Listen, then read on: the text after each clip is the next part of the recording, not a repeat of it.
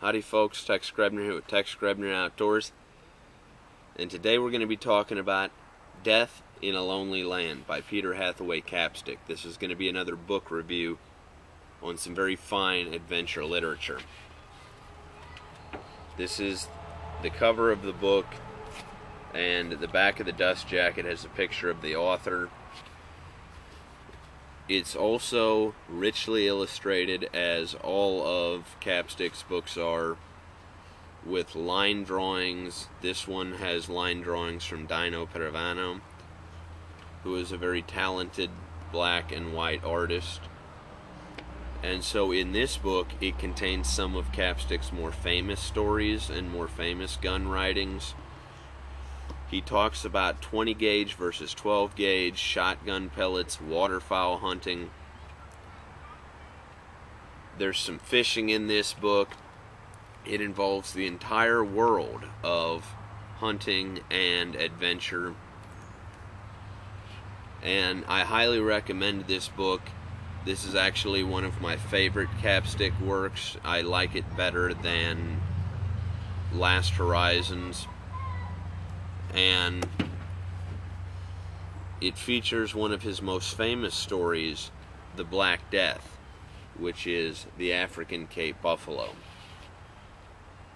which is featured right there on the cover.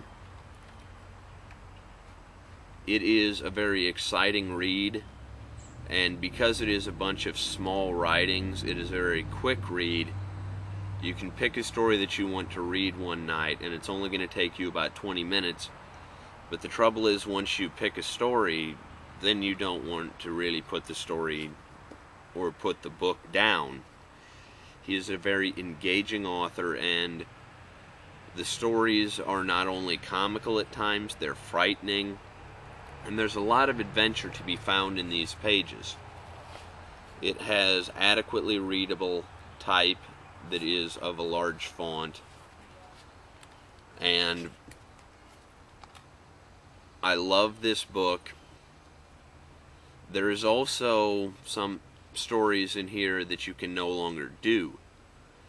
There are a few stories in this book involving jaguar hunting, which has since been outlawed due to population loss because of deforestation not through legal hunting.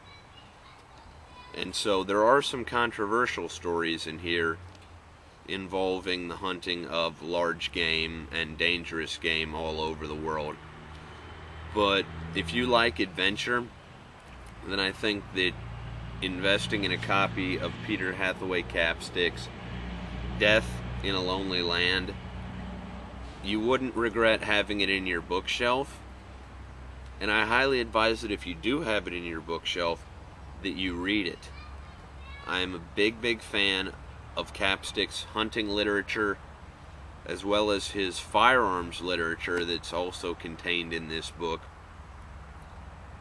And it's full of great, great adventure stories. Obviously, I'm not going to tell you what they are, but there's leopard, and there is jaguar, and there is fishing.